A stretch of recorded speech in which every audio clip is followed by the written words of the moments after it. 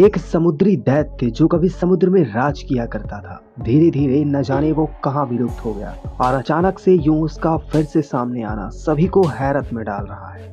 दोस्तों, जैसा कि कहा जाता है कि समुद्र इतना गहरा और रहस्यमय है, इससे कहीं ज़्यादा तो हम मंगल ग्रह के बारे में जानते हैं। जैसा कि हमारी धरती साढ़े चार करोड़ वर्षों पुरानी हो चुकी है और तब से हम मनुष्य इस धरती पर रह रहे हैं और समुद्र को देखते आ रहे हैं, लेकिन उसे समझ नहीं सके। आखिर ऐसा क्यों? तो इसका पता हमें इस बात से चलता है कि हर दिन समुद्र से कोई न कोई रहस्यमय जीव या किसी वस्तु के बारे में पता चलता ही रहता है। और हमें कुछ ऐसी जानकारियाँ मिलती हैं जिनके बारे में ना हमने कभी सुना था और ना ही कभी देखा होता है। इस समुद्र का एक ऐसा ही रहस्य है, मैग्लोडॉन सार्क। जिसके बारे में ये कहा जाता है कि ये सार्क दुनिया की सबसे बड़ी मछलियों में से एक थी, जो आज से लगभग 26 लाख वर्षों पहले समुद्र में राज किया करती थी। ठीक उसी तरह जैसे कभी धरती पर डायनासोरों का राज चलता था। ऐसा कहा जाता है कि इस जीव की लंबाई लगभग 60 फीट और जबड़ा करीब 10 फीट का होता था। और साथ ही ये कहा जाता है कि आज अगर ये इस धरती पर मौजूद होती तो इनका आकार आज की इस दुनिया में मौजूद सबसे बड़ी सार्क से भी कहीं पाँच गुना ज़्यादा होता।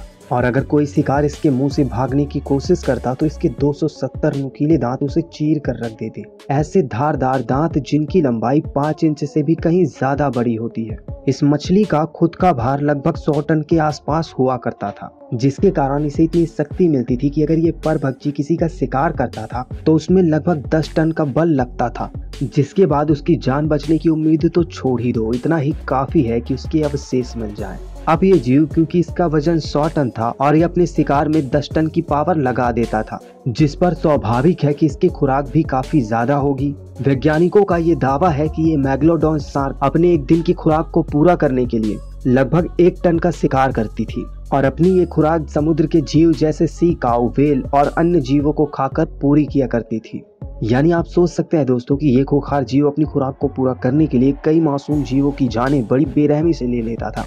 बात अगर इनके बच्चों की की जाए तो एक नन्हा मुन्ना मैगलाडॉन जब पैदा होता था तो उसका वज़न भी दो से लेके तीन टन के आसपास होता था और लंबाई करीब सात से आठ फीट के आसपास। वहीं अगर इसके ठिकाने की बात की जाए तो ये अपना ठिकाना वहीं पर बनाती थी जहाँ समुद्र में पानी सबसे ज़्यादा हो, क्योंकि इनका आकार इतना बड़ा होता था कि पानी की कमी, जैसे कि समुद्र का किनारा, वहाँ पर रहना इनकी जान के लिए खतरा होता था। जानकारों ने ऐसा बताया कि एक मैग्लोडॉन कभी भी समुद्र के किनारे नहीं जाती थी। ये गहराइयों में और समुद्र के बीचों बीच ही रहती थी। लेकिन धीरे धीरे समय के बदलाव के कारण ये परभक्षी इस दुनिया से विलुप्त हो गया। वैज्ञानिकों ने इनके विलुप्त होने का सबसे बड़ा कारण ये बताया कि मैग्लोडॉन को गर्म वातावरण में रहने की आदत थी, जिस वजह से खुद को ये दूसरे वातावरण में नहीं ढाल सके और ये धीरे धीरे विलुप्त हो गए।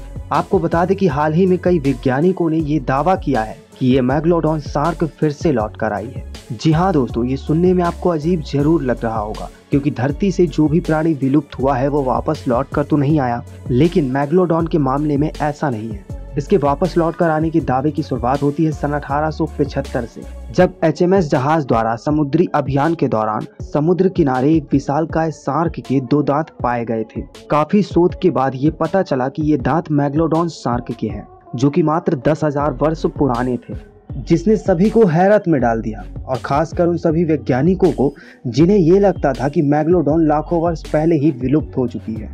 वहीं फिर वर्ष 1918 में ऐसी ही एक घटना तब सामने आई जब ऑस्ट्रेलियन वैज्ञानिक डेविड स्टीव ने यह दावा किया कि उनके साथ काम कर रहे मछुआरों ने ब्राउटन आइलैंड पर एक सफ़ेद कलर की और काफ़ी विशाल काय सार्क देखी, जो कि हुबहू एक मैग्लोडॉन की तरह ही दिख रही थी। उसकी लंबाई उन्होंने लगभग 35 मीटर बताई, जो कि अगर आम सार्क की बात की जाए तो वो लगभग 20 मीटर तक ही होती है।